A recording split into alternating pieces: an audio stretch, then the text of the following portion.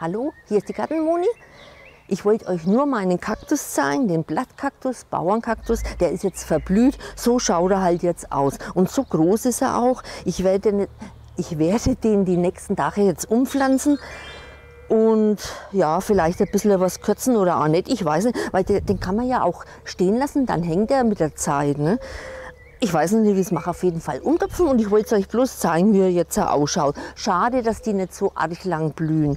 Also sie blühen schon, aber ich habe mir einen Wintergarten gehabt und da ist dann und tagsüber auch jetzt immer recht warm gewesen. Ich wollte ihn nicht rumtragen. Naja, aber ich habe trotzdem mal Freude dran gehabt. Ich mache sowas.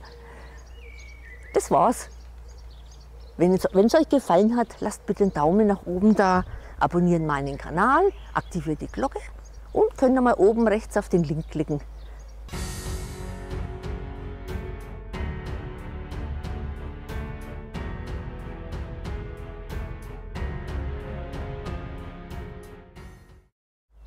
Bis bald. Tschüss, eure Gartenmoni.